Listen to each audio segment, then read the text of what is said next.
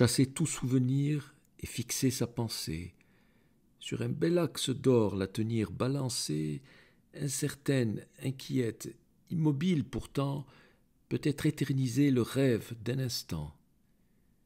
Aimer le vrai, le beau, chercher leur harmonie, écouter dans son cœur l'écho de son génie.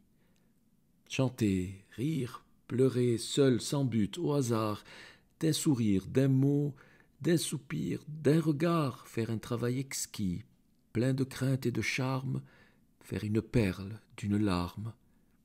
Du poète ici-bas, voilà la passion, voilà son bien, sa vie et son ambition.